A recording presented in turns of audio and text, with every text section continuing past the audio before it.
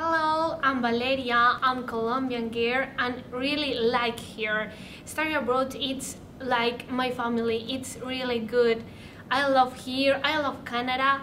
The people is really nice and I don't know, it's the best experience in my life. Uh, my name is Jose. I'm from Mexico. I've been studying here for one month and it was a really nice experience to study abroad because all the people are very uh, friendly and help you with all the inquiries that you have.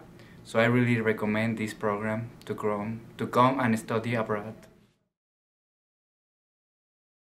Hi, my name is Isaac and I'm from South Korea and I've been here for uh, almost four months and although even though I didn't spend my time too much in here but I felt a lot of things in here because there are a lot of people uh, who are really kind and they are really gentle and I like I like here.